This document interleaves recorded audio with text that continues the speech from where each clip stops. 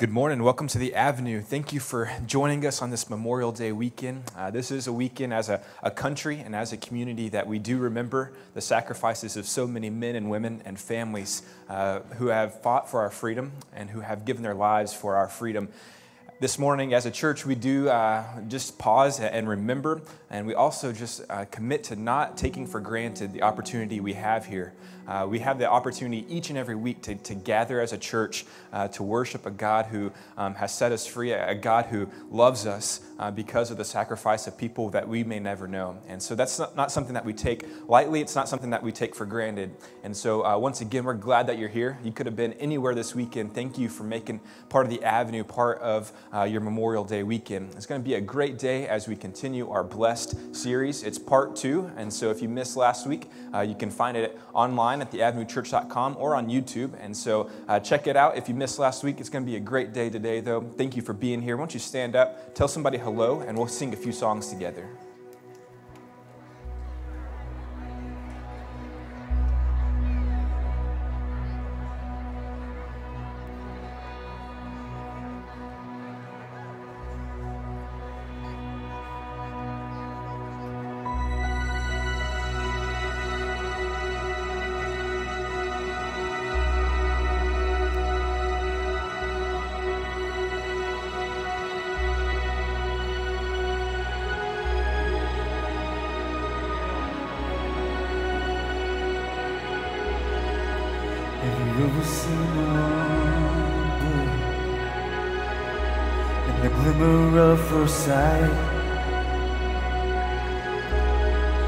The eyes begin to open and the blindness leaves the light. If your house see, I see the world in light. I see the world in wonder. I see the world in light. Rust and living color. I see the world your and I'm walking in the light. Have you ever seen the one yeah, in the ever second light? And the come out of the water with the old one left behind. If you have so say. I see the world in light. I see the world in wonder. First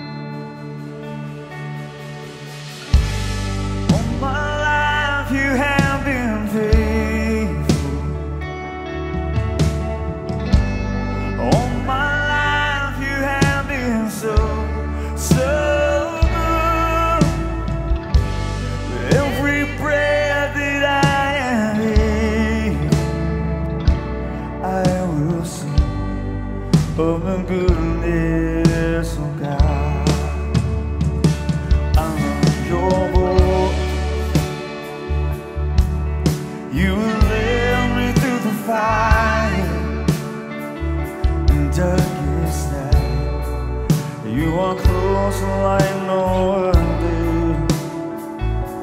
I've known you as a father.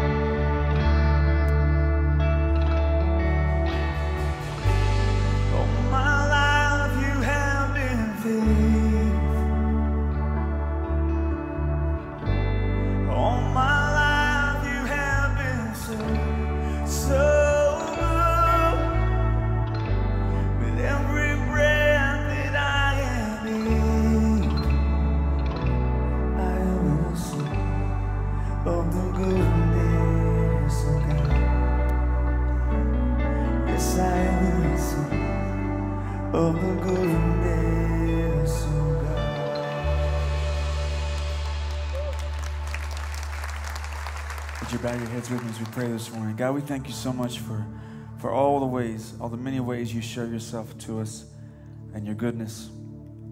And help us, uh, uh, so many times, help us to get out of our own way and open our eyes to what you are and what you have for us and the ways that you bless us that we don't realize that we take for granted. Uh, especially this weekend, uh, we take for granted the, the country that we live in that's free, and that we can worship here, uh, we can talk about you, we can sing to you uh, with no fear of, any um, repercussion for that.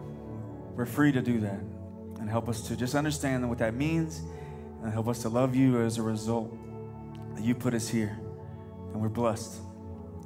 And because you blessed us, uh, we want to give to you in return. Those of us who call the Avenue home, we want to take these next few moments to, to give our tithes and our offerings, resources to you.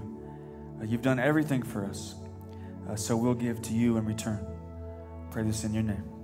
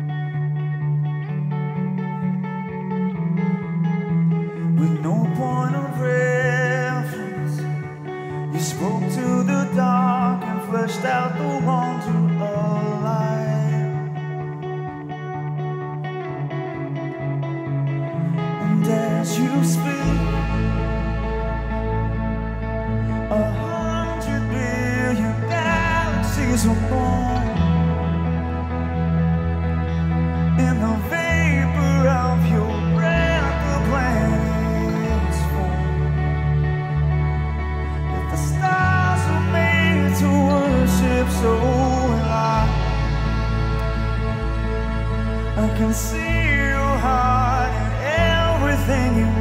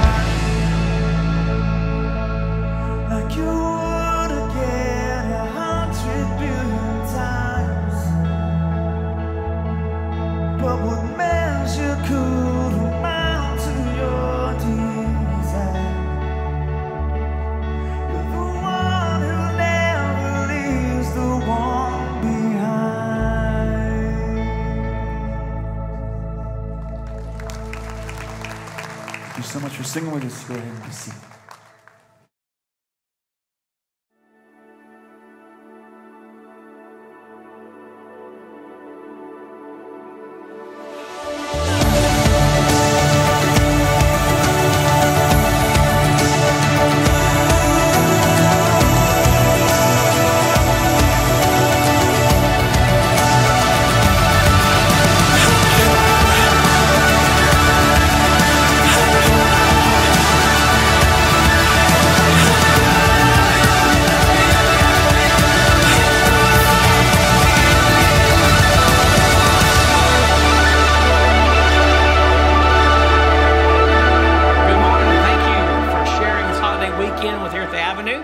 appreciate you being here. Those in Ennis, thank you for taking a break from the Polka Festival.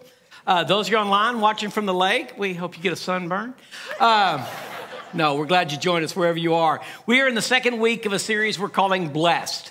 And we're talking about how to live a life that is blessed by God. If you weren't with us last week, one of the things we talked about is we use the word blessed in a lot of different ways that, that are not biblical. And so we want to understand the biblical definition of blessed. And blessed is not about having a nice house and having a nice car or, or getting a raise. It's not about material possessions. Blessed is about putting yourself in a position where God can give you favor. Putting yourself in a position that God can do something in your life and add something to your life. When we live in disobedience to God and we're not following his principles, he we cannot be in his favor. And so being blessed is, is about becoming holy. It's about becoming more like him. It's about reading his word and understanding it and applying the principles to our life. We talked last week about an Old Testament principle, and I want you to understand that we are not under the Old Testament law. Uh, the Old Testament was written, if you do this, then I'll do this. The New Testament is because Jesus did this, we have access to God. It's a completely different covenant. But it's the same God yesterday, today, and forever. And so there are principles that He uses to help us understand who He is. And those principles fit throughout eternity. And the principle we talked about last week was called the principle of first. And what that is, is God wants to know us to know that we trust Him. God wants us to place our trust in Him, to believe that He has our best interest, to believe He's going to take care of our needs. And so, what He asks for is before you have anything else, I want the first. I want the first of everything in your life. And for us, because our system is set up in the financial world, money is a great test of that. If we can give God that first tenth, that first fruit, and then trust Him with the rest, He knows that we are trusting Him, and it puts Him in a position, puts us in a position that He could show us favor. And so we went through all of that and we understand that. And anytime we talk about trusting God, money comes up in the conversation. In fact, Jesus talked more about money than he did about the kingdom of heaven. He talked more about money than he talked about prayer. Uh, in 35 of his parables, and parables is a fancy word for teaching, for story.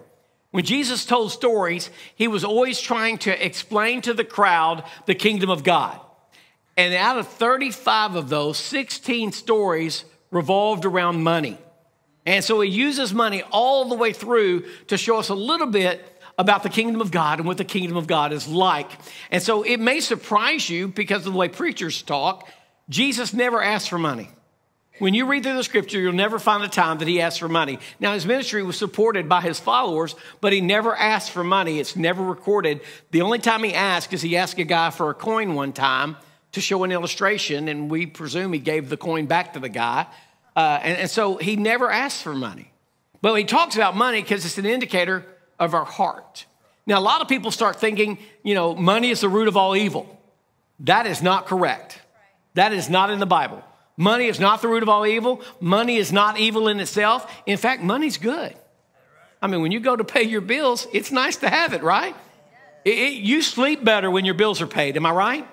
You sleep better when there's money in the bank. Money is not a bad thing. It says the love of money is the root of evil. If you have money in the wrong perspective in your life, that's the root of evil. If you're a lover of money more than you're a lover of God, that's why the verse we mentioned last week, and it's in this week too, is you cannot serve both God and money. If you try to serve both, you're going to love one and hate the other, or, or, despise one and desire the other. And we see that. And so, what we're trying to do, Jesus is trying to get us to put money in perspective. Now, money can add meaning to our life but it can't be the meaning of life. Money is a means to an end, it's not an end in itself. Now, many of you are living your life as money is a means, is the means. Money is the end, money is the most important thing. Out, out of 30 years of doing ministry, all the funerals I've done, never once have I listed a person's assets at their funeral.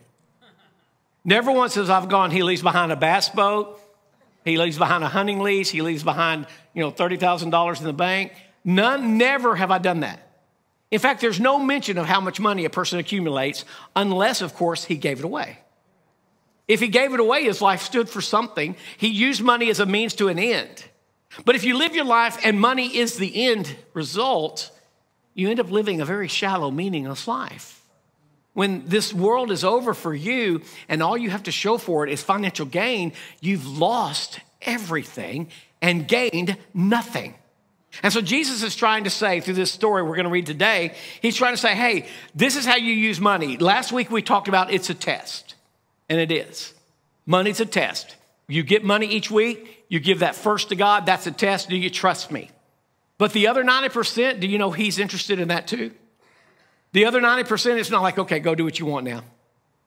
He's like, hey, I want you to use money and I want you to leverage it. I want you to use it for good. I want you to use it as a means to an end. And so Jesus tells a story here, and he's pointing out how you, we should use money in this world for, during our limited time here and our limited opportunity. Now, remember, Jesus is an incredible storyteller. And people are following him, and people are hanging on his every word, and he has all stations of life sitting out there listening.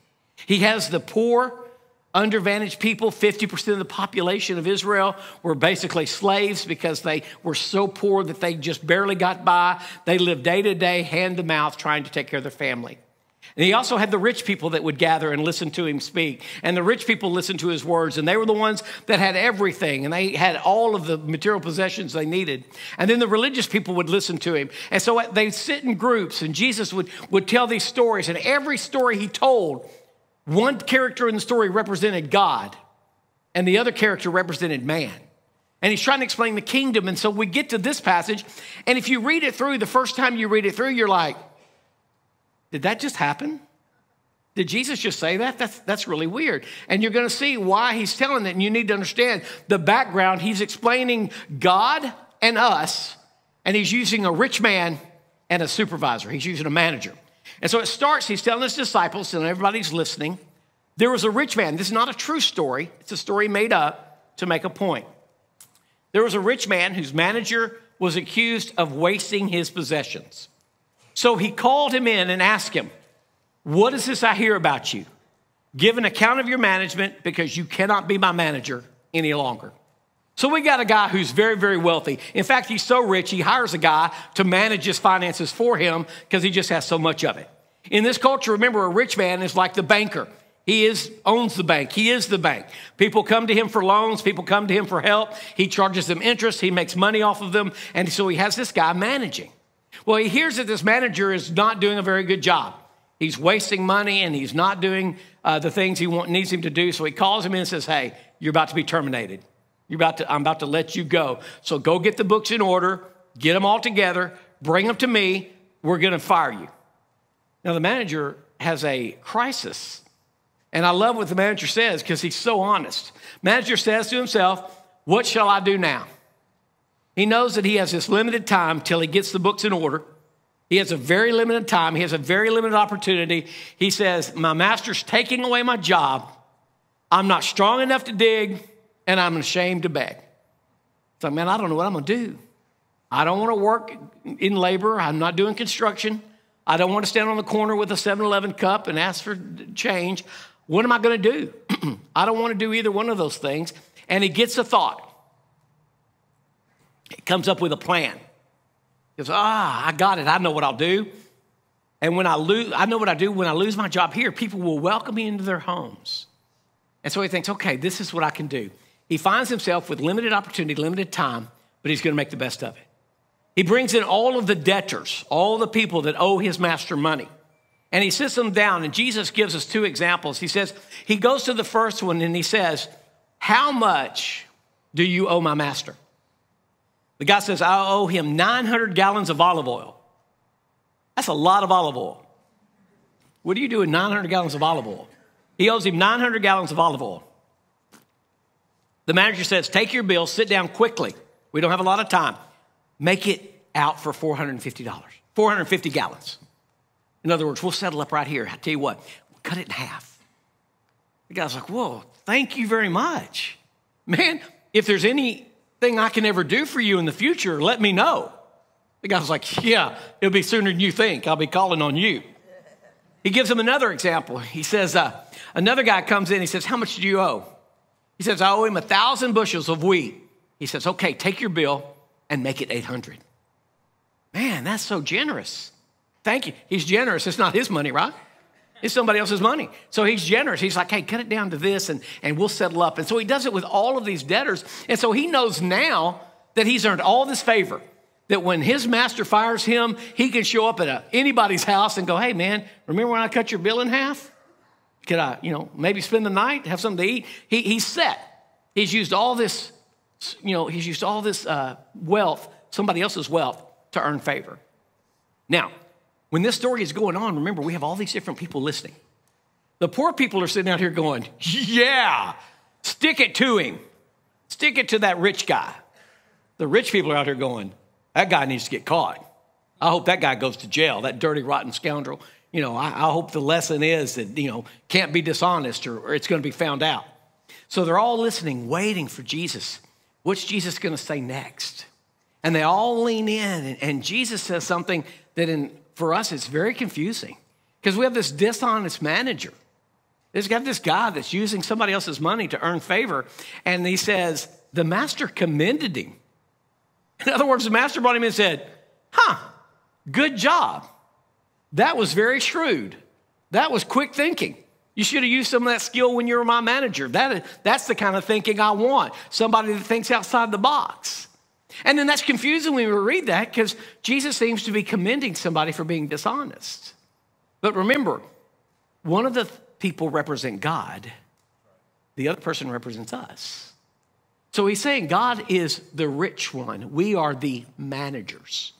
He goes and he says it this way He says, I tell you, the people of this world are more shrewd in dealing with their own kind than are the people of the light.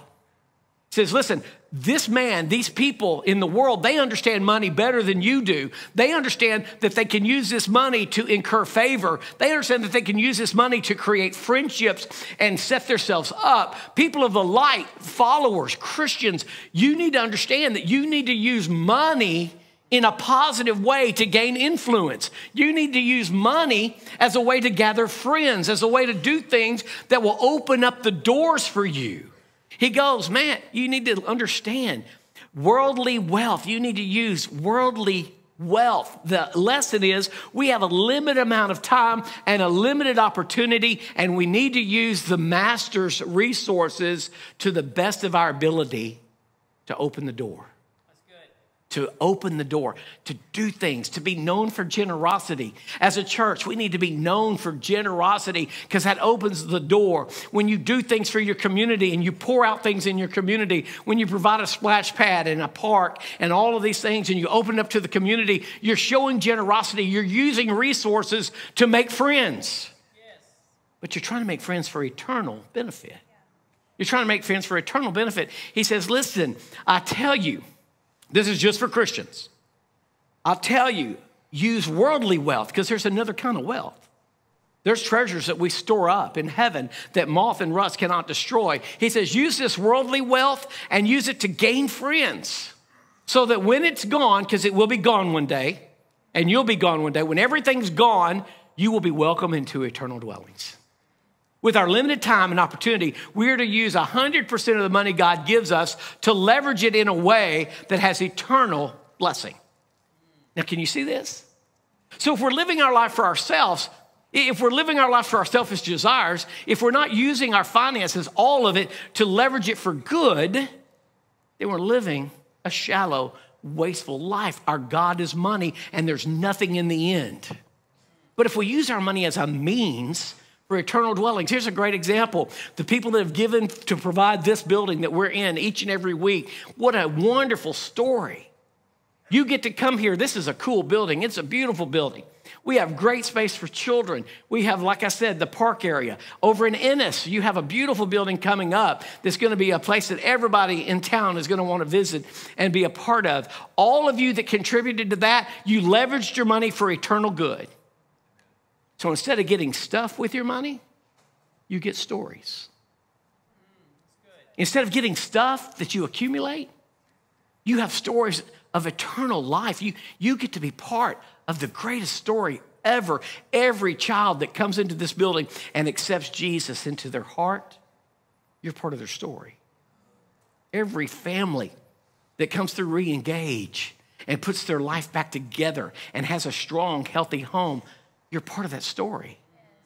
Every addict who comes in fighting addiction on Monday night and gets their life back in order and becomes a productive member of society, you are part of that story. And so when you get into your eternal reward, there are people that will be thanking you for having Celebrate Recovery in your church. There'll be people that are thanking you for re-engage. There'll be people thanking you for supporting youth ministry. People thanking you for providing a place that they could come and hear the story of Jesus. And wouldn't you rather have eternal stories than stuff? That's what he's talking about. That's what he's looking for. And Jesus is making the example hey, be shrewd with your money like this manager. Use it for eternal gain, use it for something more than yourself. Because if you let your selfish desires eat it up at the end, it's just stuff. There's nothing left. Now, I know what you're thinking. I know what you're thinking. I know where you are right now. You're all sitting out there, for a majority of you are thinking this yeah, if I just had more, I would do that. That sounds wonderful. I would love to give if I just had more. God, let me win the lottery. I'll give 50% to people. If you just give me more, God, I just don't have enough. I just barely have enough for me, God. And I'd love to be generous. And if I just had more, I'd be generous. Jesus knew you were going to say it too, because people haven't changed. And so he looks at the crowd and he realized what they're all thinking. They're all thinking, nah, I just don't have enough. The poorest person's thinking that, the richest person's thinking that. And so Jesus goes, hey, whoever can be trusted with very little can also be trusted with much. But whoever's dishonest with very little will also be dishonest with much. He says, no, no, no. I know what you're thinking. You don't need more. How, why would I give you more? If you're not faithful with a little? Why would I do more if you're not faithful with a little? If you're not generous with a little bit, you're not going to be generous with a lot. If you're not giving with a little, you're not going to give with a lot. If you're not faithful with a little, you're not going to be faithful with a lot. And so that's where most of you find yourself staying, always needing more because there's never enough. I told you 30 years ago what you'd be making today, you think you'd be rich, but you're not. because you eat it up. We devour it. We use it for selfish ambition. We use it for our own things. We accumulate and we don't use it for the kingdom of God and for His glory. And so it is just wasted on us. He says, if you're faithful with a little, I have people in my office sometimes and they tell me, Pastor, I just make too much money. 10% is a huge amount to give to the church. And I'm always like, well, my prayer for you is to make a little enough that you can give then. I ask God to cut your pay down so you can afford to tithe. I think that's a great idea. You make too much to give. If you're faithful in a little, he goes on and says, hey, if you're not trustworthy handling worldly wealth, because there's a greater wealth. If you're not trustworthy handling worldly wealth, who will trust you with true riches? And if you haven't been trustworthy with someone else's property, who will give you property of your own? See, he's back to this. Now, this is just for Christians. If you believe that God created the world and everything in it and it belongs to Him, you're just a manager. You don't own anything. And the minute you think you own something, guess what? It owns you. And some of you know that, right? Your car, two cars in your house own you. That farm, that ranch, it owns you. That boat, it owns you. That travel trailer, it owns you. It owns you. You don't own it. Listen, you're going to leave everything behind, everything except what you store up in heaven. He says this if you're wise, you'll handle your opportunity and you'll handle your resources and you'll do it in a way that there's eternal reward, not earthly reward. Because this doesn't matter. You'd be smart about it and you're going to use it to do something incredible. And so here's my question What do you want to be thanked for today? If people were going to line up today and thank you for something, what do you want them to thank you for? This is Memorial Weekend, right? We're remembering men and women who sacrificed their futures, who sacrificed their life. These are children that are going to grow up without a mom or dad because this person made the ultimate sacrifice for something they believed in. They believed in the United States of America. They believed in our freedom. They believed in our way of life. And they gave their life so that we could live. And this is our thank you to them. But the question comes what do you want to be thanked for? What have you invested your life in? Do you really want the end of your life to be nothing but accumulation of junk? Do you want the end of your life to just be that you consumed? Do you want the end of your life to be filled with your kids going through your closet talking about how fashion forward you were? Do you want the end of your life to be about they always got the latest upgrade? Do you want the end of your life to be a house full of stuff that your kids just have to go through and get rid of? Or do you want your life to amount to something? So, what is it today in your life that's worthy of your resources? What do you want to be known for? What do you want to be remembered for? Because if you don't answer these questions, you're just going to eat it up. Your selfish desire is going to eat up all of your resources in this limited time, and you're going to have nothing of eternity to show for it. You want to have a blessed life? God doesn't want just 10%. He wants 100% of your money to be leveraged. Now, folks, remember, money's not evil. The love of money is. God doesn't mind you going on a great vacation with your family. God doesn't mind you having nice things. God doesn't mind, he's, he's your father. He loves it when his children enjoy life. Money is made to enjoy life. Nothing wrong with that. Unless that becomes the end. Money can add meaning to your life, but it is not the meaning of life. Find out what the meaning of life is. Stand for something. Make your life worthy of a life well lived. When we stand at your funeral, let's thank you for something besides just buying a bunch of junk. Live your life in a way that's worthy. Then he goes into this passage no one can serve two masters. You're going to serve God, you're going to serve money. I love verse 14. The Pharisees who loved money, the Pharisees who loved money, and there's some of you in the room, and you're sneering at me just like they were sneering at him. Uh, that preacher just wants more money for that church. The Pharisees who loved money heard all this and were sneering at Jesus. You know who those Pharisees' names were? Me neither. Because nobody cares. They live a life that amounted to nothing. You want your life to count? You want your life to mean something? Use money not as just a test, but use it as a tool and leverage it for the kingdom of God. Would you bow with me? God, I pray that you will help us live for something bigger than ourselves. God, I pray that you will use our limited time and our limited resources for eternal things. Father God, help us to leverage all the resources you give us for your glory, for your honor. Thank you, God, for what you've provided. We pray in Jesus' name. Amen. It's been a great weekend here at the Avenue with you. So glad that you could be a part. Hope to see you next week for part three of Blessed. If you would like the companion book uh, for some summer reading, we have the Blessed Life book available in the hub, and we're actually beating Amazon's price. It's $10 in the hub, it's $12 on Amazon. So come see us in the hub. Hope you have a great weekend, rest of your weekend. Stay safe. Hope to see you next week. Take care. Bye. If you have any questions or need prayer, send us a message at info at theavenuechurch.com. We are always here for you. Looking for ways to give from where you are? Text the amount to 84321. And don't forget to subscribe and follow us on social media to stay in the loop. Thank you so much for joining us today, and we'll see you next week.